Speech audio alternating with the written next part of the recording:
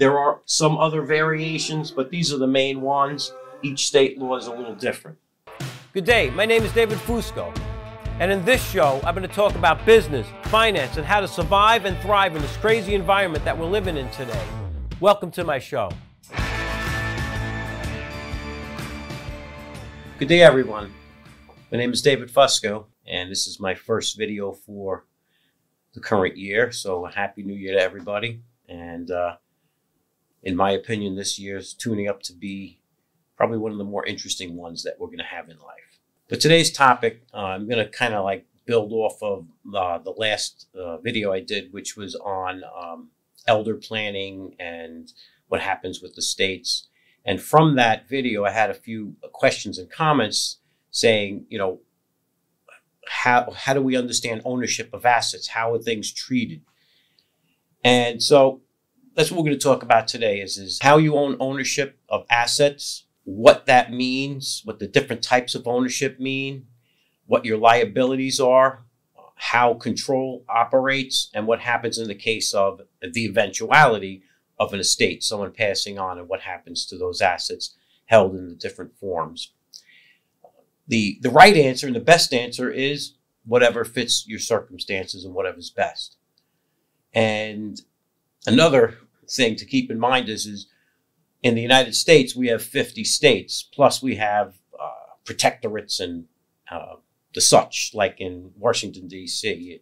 These are all separate legal entities that have their own laws and may have slightly different definitions of how you can own things and what the ownership means in those states. So you need to look into your particularities. But I'm going to just be going over the general concept of how things are owned. Well, the most common way things are owned, and most people own them, is as as an individual. Listen, listen to you over there, I think. I don't know. Oh, whatever. It's okay. We got the point. Uh, when you own things as an individual, obviously it's the simplest form, and that's how most people um, first start acquiring assets. So you can open up a bank account as an individual. You can open up, uh, you can buy stock as an individual. You can open up brokerage accounts as an individual. You can buy property, uh, cars, etc., as an individual. Obviously, the most, the best part about it is, is well, you have total 100% control of that asset. So from that point of view, it's the simplest way to own something. On the other side of the coin, there are some negatives. All the liability, 100% of the liability of the ownership of those assets resides with that individual. So that could be a problem depending on what asset you're owning. So if it's something that may generate great liability, it may not be the best way to own something. From an income tax point of view, well, it's pretty straightforward. We all file tax returns uh, individually. So um, anything you own individually would just flow through to that. Your interest earned from the banks, your stock uh, account activity. Uh, if you have rental property owned individually in the same fashion, all flows through your personal return. So from a control point, it's the most easiest and obviously since unless you have schizophrenia and have disagreements within yourself, you're in good shape. So you have best control. Liability is not the best. Uh, anything that happens that a liability could come your way, it's going to.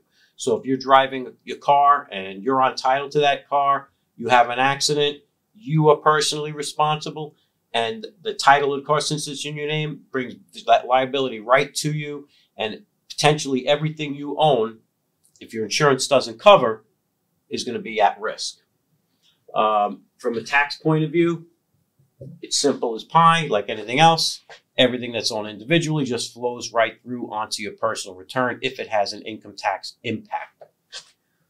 So it's kind of a neutral thing. Uh, or, or it's easy. And then estate. What happens when somebody passes away is that the assets they own immediately go into the estate of the name of that person. So up to the date of death, that person is an individual. They pass away. It's now the estate of whoever, so and so. Um, as an individual, when you own assets, the assets go into the estate, depending on what they are. There's different tax ramifications. But effectively, what happens is if you own real estate or stocks, uh, bonds, they get marked to the market value at the date of death, and your beneficiaries would inherit those assets from the estate at the current market value. A nice advantage of that is if, let's say, you, you know, mom and dad bought a house back in the 1970s and they bought it for $35,000. That same house now is worth $350,000. So if mom and dad had sold that house, they would have had a significant capital gain. 350 minus 35, they would have had a $315,000 gain. They pass away and you inherit it. It gets brought to the market value since it was owned by them as individuals. And now if you sold that house for 350,000, your basis is 350,000, no taxation. Not bad. So the simplest form again of owning something is as an individual. But a lot of times things don't work out that way, and you might have something that you're going to try to do. You want to do something with a family member, um, whatever, or buddy, or whatever. So that is something that is owned jointly. And again, it's in individual names, usually. It doesn't have to be. But let's just keep it that way, names. So you may have a house and it's owned by Bob and Sue. And if Bob and Sue are married, well, what happens is, is that house is owned as what's called in some states, and not every state has this law, tenants in the entirety. Only married couples can be tenants in the entirety. And of course, the state law has to have that availability. It's a strange way of owning something. And what effectively it means is that each, both Bob and Sue own 100% of the house simultaneously.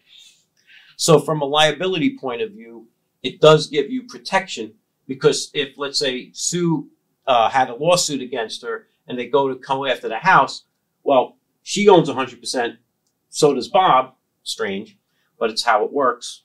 So effectively, it becomes very difficult for a creditor to get access to those types of assets. Uh, what happens when, um, you know, from control point of view, well, you get a husband and a wife, and we all know the wife has control, usually. Uh, but effect, but in under law, it, it's joint, so it, it, takes the decision of both. Um, interesting thing is, is that either of these owners can legally bind the other bind the other owner to agreements that they've made with third parties. So let's say Sue went out and hired a contractor uh, for ten thousand dollars and signed it. Bob is going to be held responsible for that also. So in a partnership, uh, sorry, in a uh, tenants in the entirety or in any jointly held property, the joint owners can bind the other owners to the liability. So that's a thing to consider. Uh, from an income tax point of view, well, if it's a husband or a wife, it doesn't really matter. Pretty much mostly, unless they do a separate return, it's going to flow through to the individual return. So from that point of view, it's not, not, not much different. Another way to own assets as jointly is what's called tenants in common. In a tenants in common ownership, Bob and Sue are not married, but now they're they're just two friends, and they decide they're going to buy a house together and they're going to own it as tenants in common. What that means is that is that they each have a, unless it's stated elsewise, and it would have to be stated, the assumption would be 50-50, unless it's stated in the deed or in some other document that says, okay, Bob has 60, Sue has 40. Uh, but in general, without anything stated, tenants in common, each own a proportionate share. If there were three owners, it would be one third each. If it was four owners, it would be 25% each. Um, and, again, in tenants in common, you're individually named owning it, that, that house or whatever it is, any liability flows through to each person equally and severally. So a creditor against the, the people who own this house jointly as tenants in common, if there's a, a, a lawsuit or a problem of some sort, the, they can go after Bob for the entire amount or they can go after Sue for the entire amount. They're not responsible to separate it into 50% or 30% or whatever that is interest. Um, they just go after whoever they want. They don't even have to go after everyone. Well, there's law stuff about that, but and we're not getting into that. So this is just a basic form of ownership. Um, and of course, a lot of people are familiar with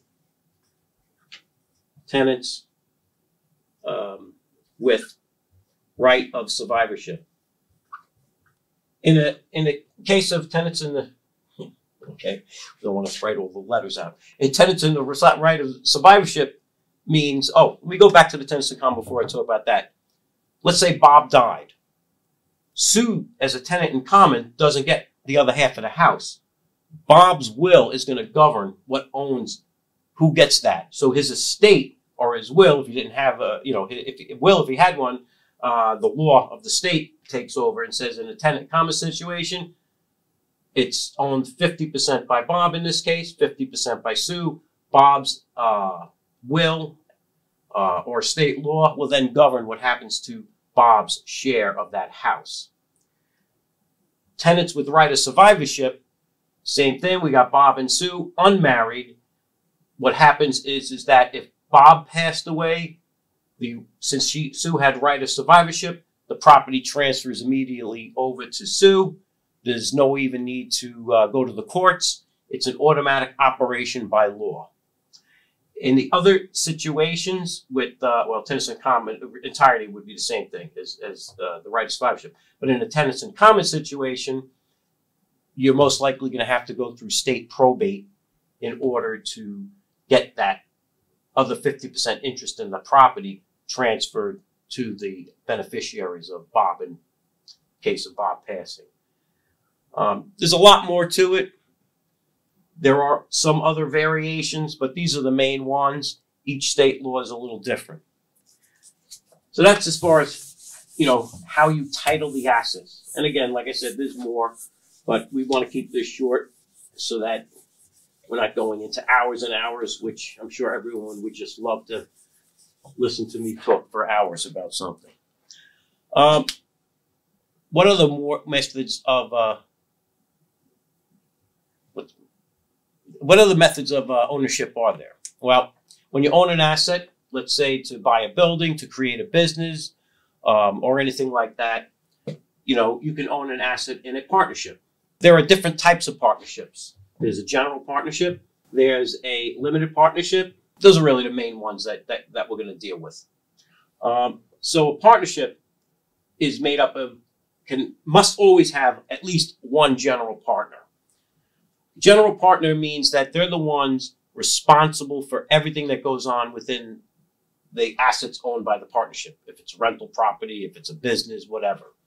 So if there's a problem and you have two or three, oh, obviously, sorry, one thing that needed to be mentioned. In order to have a partnership, you need two or more owners. It, you you, you, you can't be a partnership with just one person. But again, if you're schizophrenic, you've got to look into that. Got to ask some attorneys if that's the case. But in general, two, two or more owners. At least one of the owners has to be a general partner. But if both owners are general partners, then each partner is personally liable for everything that goes on in that partnership, every document signed by that partnership, every loan taken out, everything done. If you have a limited partnership within the scope of that partnership, so you could have general partners, and you could also have limited partners. A limited partner is exactly what it sounds like. They're limited to the liability of their investment. So if they put uh, $100,000 into a, a, partnership as a limited partner, the most they can lose is $100,000. As a general partner, unlimited loss. So there's a big difference there. Uh, what happens in the case of uh, control? Well, if you have just one general partner, he's in control. If you have multiple general partners, you now have discussions to make and there could be issues. I had a client uh, who um, had a general partnership. There was, uh, I think, 10 of them. There was a 2% owner, and the 2% owner stopped a real estate transaction that 98% of the partners wanted. So, in a partnership setup, if you all general partners, you best have a solid agreement that specifies who makes the decisions and, and, and how. Um, from an income tax point of view, partnerships are not tax-paying entities in general. How so? Any profits and or losses from the partnership will flow through to the individual owners, whether they are people or corporations. In, in the case of an estate, what happens is is that the partnership is valued, and then if you own a 25% interest in that partnership, um, the value of that partnership is to you, to your beneficiaries, I should say, is increased by that 25%. So it's a little quick thought on a partnership. The next form is a corporation. A corporation is a separate legal entity. Uh, corporation has, in general, a perpetual life, meaning that um, if the owners die, the corporation keeps going. So I'm going to jump back to that partnership. In a, in a partnership, if a general partner dies, effectively the partnership is dissolved and a new partnership is created, if there, long as there is more than two people. In a corporation, it's perpetual, it just keeps going on. There are two main types of corporations in the United States, and there are more than that, but let's just stick with the main types. We have a C Corp and an S Corp. A C Corporation both corporations are separate legal entities. Both types of corporations have a separate tax return to file. But the main difference is a C Corp pays tax on its own return. An S Corp, the profits or losses go to the owners.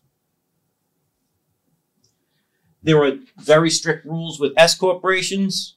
Um, it can't be owned. It can only be owned by uh, individuals that are residents of the United States or U.S. citizens. C corporations don't have that issue.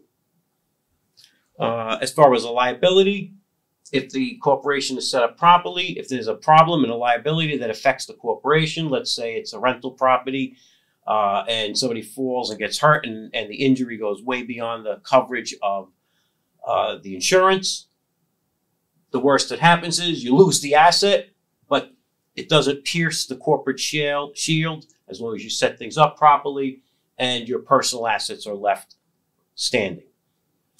In the case of an, uh, an estate, when somebody passes on, what happens is, is that, let's say that the corporation only owned one asset and it's a building. And the building's worth, the, you know, was what, like that first case, $35,000, but now it's worth 350 And let's say the person that owned that uh, stock died. What happens is, is the stock gets revalued to 350,000. Now notice what I said, the stock gets revalued, not the asset.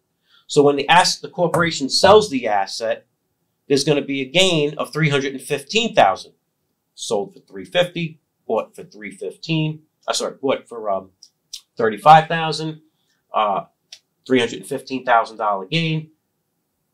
The corporation pays the tax. You go, well, wait, I should get the uptick. No, you didn't get an uptick in the basis of the building. You got an uptick in the basis of the stock.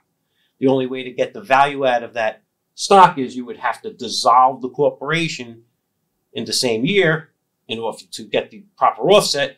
So you'd have the gain from the 350, $315,000 gain, and then you'd have the basis write off from dissolving the corporation. Uh, there's other tax planning that can be done. Corporations are, in my opinion, not the best way to own real estate because you lose a lot of different benefits, um, especially depending on the state that you're in. So that's the the corporation. There are other forms of uh, owner owning things. Corporations can also be not for profits. Uh, you can have oh ah, another big one. Sorry, but it's not what you think. People think I want to create an LLC or what's called a limited liability company in a limited liability company doesn't really it, it is a separate legal form of owning things. However it can take on the form of a sole proprietor meaning an individual. It could take on the form of a partnership. It could take on the form of a s corp. It could take on the form of a c corp. Why those different things? We don't ask why we just know it's the law. And again each state is different. Um, However, limited liability companies do shield you from some liabilities. So let's say you had an operating business and you're set up as a sole proprietor and um, there's a problem happens in your, your building, somebody trips and falls and gets injured, there's a lawsuit. As an individual sole proprietor, it would go against the business and it would go against the potentially against the assets of the individual owner. If that person was an LLC, they would go against the business and it would stop at that. So as, as a, a single owner LLC, there is value in it from a liability point of view. It could be set up as a partnership. It could an LLC. An LLC can be taxed as a corporation. It can be taxed as an S corporation. These are all elections and considerations that you need to take into effect when you're deciding how to create something or own something. So, just to recap, the the way of owning stuff is individually, jointly, with all its variations. Uh, you can create things and own things as a sole proprietor, which is the same thing as an individual. You can own things as a partnership.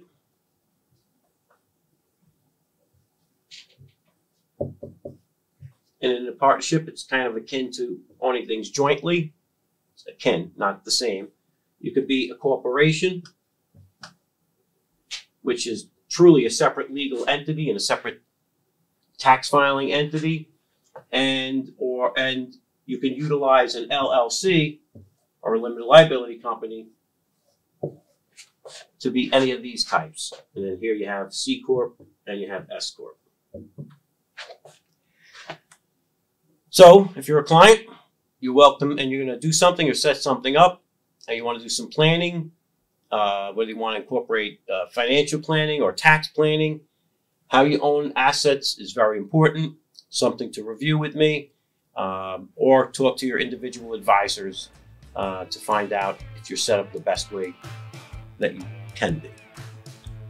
Thank you very much. Have a wonderful day.